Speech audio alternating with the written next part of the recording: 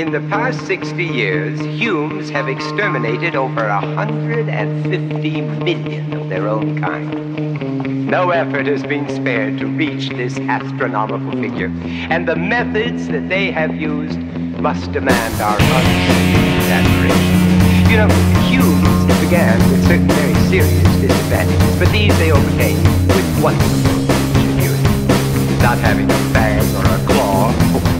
even a whistle worth talking about. They invented guns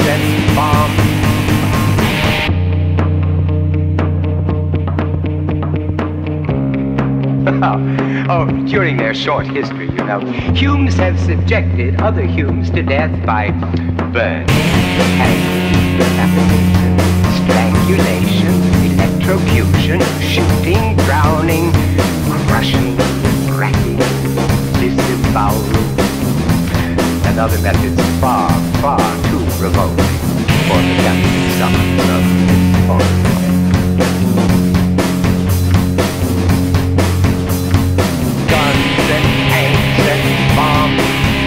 Bombs. Guns